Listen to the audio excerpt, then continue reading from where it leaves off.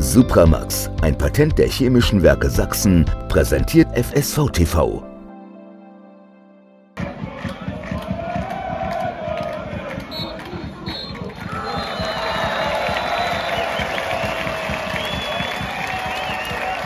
Ja, super Atmosphäre. Also Wahnsinn hier, wie viele mitgekommen sind. Auch äh, unglaublich top Unterstützung hier und ähm, ja, war schön zu spielen einfach.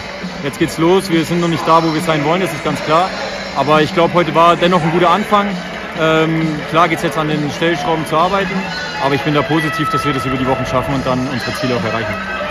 Ja, auf jeden Fall. Ich glaube 3-0, wenn man das Spiel gesehen hat, irgendwo auch verdient. Ähm, allerdings die Tore, vor allem das erste und das dritte, ähm, das ist ja durchgeflutscht und, und einfach nicht so gut gelaufen. Aber ich glaube, man merkt, dass die Abläufe noch nicht ganz stimmen.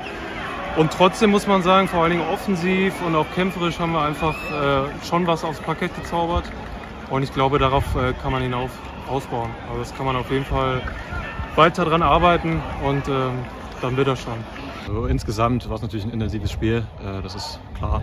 Äh, BFC hat jetzt nicht verkehrt gemacht, logischerweise, wenn sie 3-0 gewinnen. Ähm, wir haben definitiv trotzdem uns jetzt nicht einkriegen lassen. Ähm, von deren Druck, von deren Pressing, haben rausgespielt hinten, haben gute Ballstaffetten gehabt.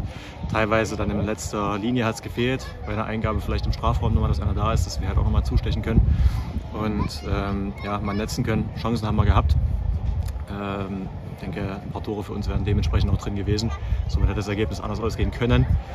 BFC hat trotzdem verdient gewonnen, Stand heute nach diesem Spiel. Ähm, würde ich trotzdem sagen, dass wir es gut gemacht haben. Ähm, an kleinen Sachen, kleinen Abläufen noch arbeiten können. Ähm, aber dennoch, dass hier überhaupt kein schlechtes Spiel von uns war. Wir wollten, wir haben gekämpft und ja, das wäre meine Einschätzung erstmal.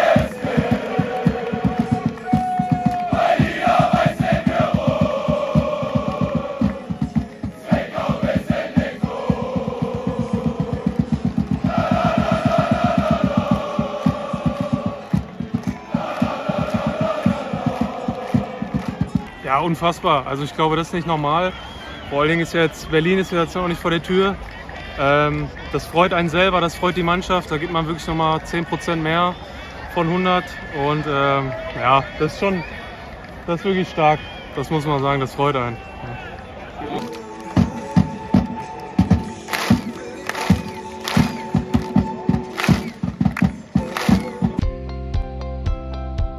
Supramax, ein Patent der Chemischen Werke Sachsen, präsentiert FSV TV.